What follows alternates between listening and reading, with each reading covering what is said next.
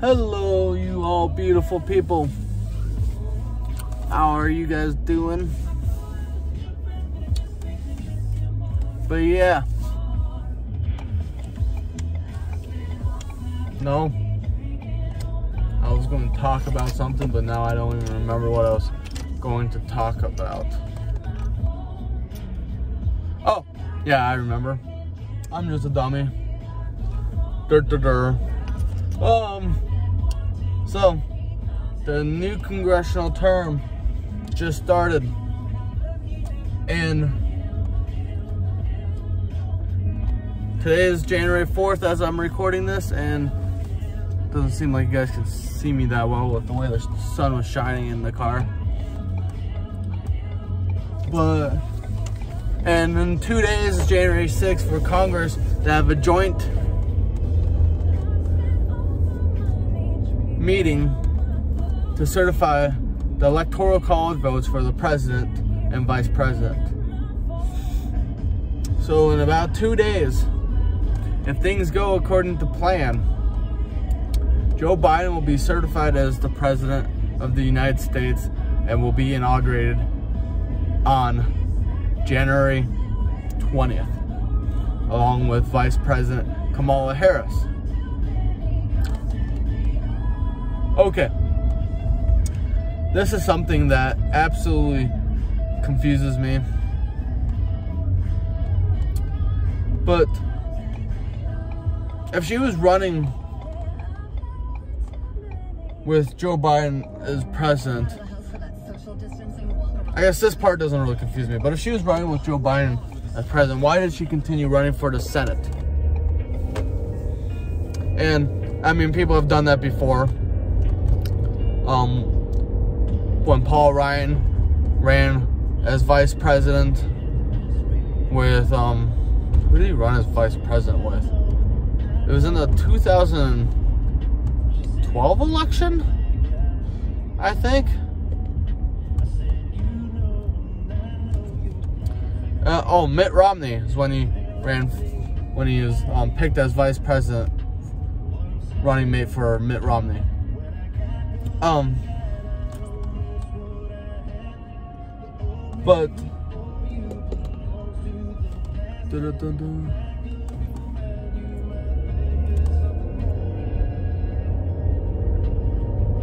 but it's not the fact that she ran as both vice president and senator. It's the fact that she still ran still took the Senate spot. She was sworn in as a senator um, yesterday for the new congressional term. Bitch, you're going to be vice president later this month. Most people that have ran for president or vice president and also ran for another another um office in the off in the chance that they don't win the president or vice presidency end up resigning after they've won. Let me adjust that. Yeah, Barack Obama in 2008, he resigned later in November, early Decemberish, around that time frame from the Senate to focus on the transition.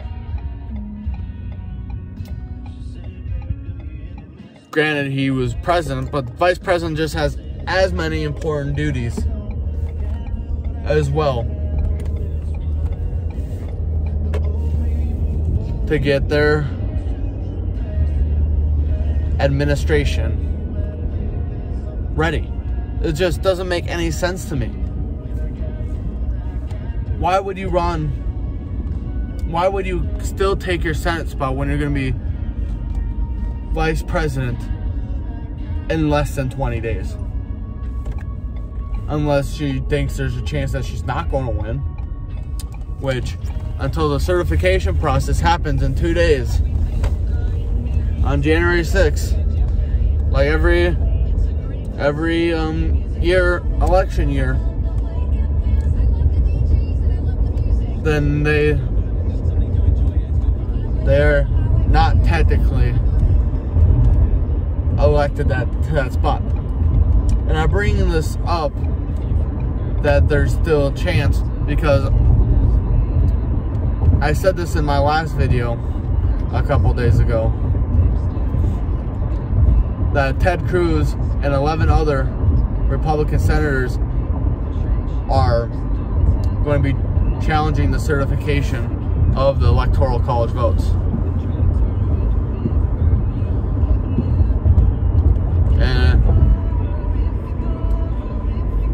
And so we'll have to see what happens with that.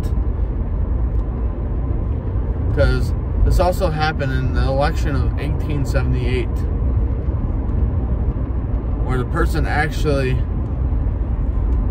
got voted for on election day in that November and on and then the Congress didn't certify the electoral votes and ended up election going over to the other guy. I don't remember who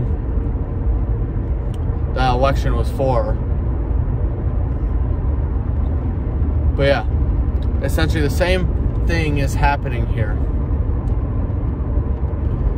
And will Donald Trump be president later this month? I don't know. We kind of just gotta wait to see how things play out. I would like him to be. I think Joe Biden would be a terrible president. He was a senator for 47 years vice president for eight, and he did jack for this country. So that's my personal opinion on that. And and then come in the yesterday as well. Nancy Pelosi was reelected as Speaker of the House, which I personally didn't actually think she was going to win, even with the Democratic majority. And the reason why I didn't think she was going to win is because there's actually a handful of Democrats who actually was opposing Nancy Pelosi as Speaker because a lot of them was feeling like they're the reason why Democrats lost seats in the House and Republican gained seats in the House of Representatives. Yeah, and I do agree with that statement. She's a nutcase. And she actually probably wouldn't have won. But she called but she called people to come down down who were exposed to COVID and also tested positive for COVID as there's actually a news article I read that a representative who re- was recently tested positive for COVID was asked to fly down to vote for the speaker apparently they're so concerned with COVID only when it only when then it's not affecting them. The second they affect them, they don't care. And Nancy Pelosi built a plexiglass area for those people. Yeah, that's not gonna that's not going to really help when they've walked around all this office space, coughing in the air, exposing COVID in the air to everybody that's walking through there. What did they have a rolling plexiglass thing that the second they got out of their car they stuck it in there and then they rolled away?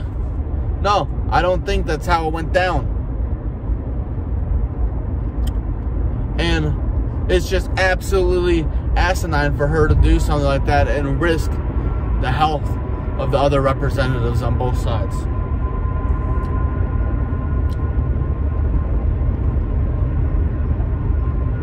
Is just boggles my mind that they would do something like that.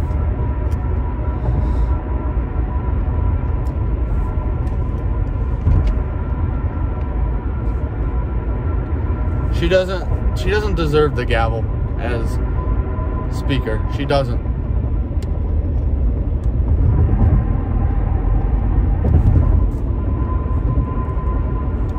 I really think out of the last 10 years or so, that the only really good speaker that we had was Paul Ryan. The guy before Paul Ryan wasn't very good. And before the guy before Paul Ryan was Nancy Pelosi again. And I'm really not really sure of who was before Nancy. But in all actuality, I think Paul Ryan was really the only good speaker we've had in a while. It just blows my mind that the Democrats will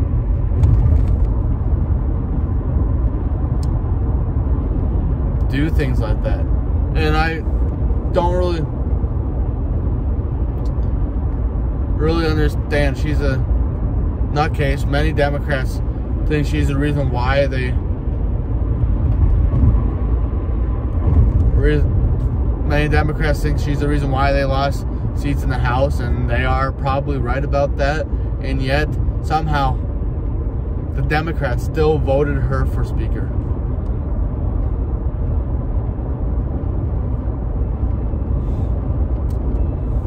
Both leaderships in both Congress, both houses of Congress, need to get out of there.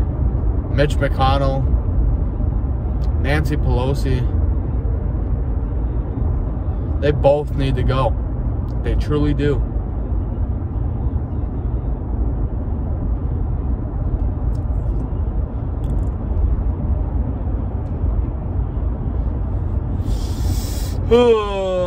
That's really all I needed wanted to talk about today.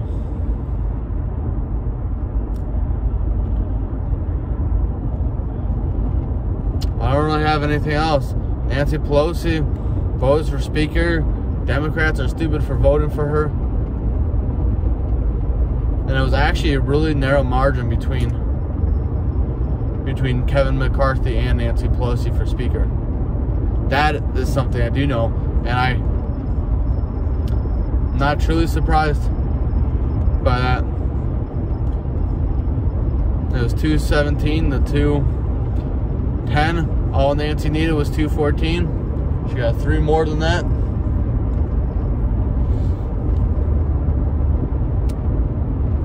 yeah. Leave a comment about how.